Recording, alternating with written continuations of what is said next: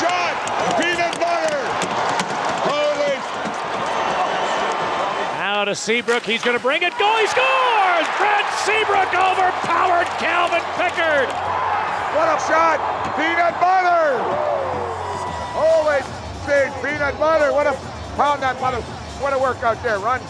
Klas Dahlbeck has just scored his first NHL goal. Peanut butter. Shot.